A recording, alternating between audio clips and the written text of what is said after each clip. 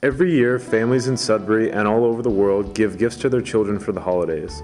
However, many families in third world countries and even here in Sudbury struggle to find the income for these holiday gifts. The Christmas spirit shouldn't be about material gifts and who has the latest and most expensive things. On November 26th and 27th, Bishop Alexander Carter is inviting you to the Giving Back Alternative Gifts Fair, which includes 10,000 villages and many other nonprofit organizations. Will you please lend a hand this year and help us spread the holiday spirit?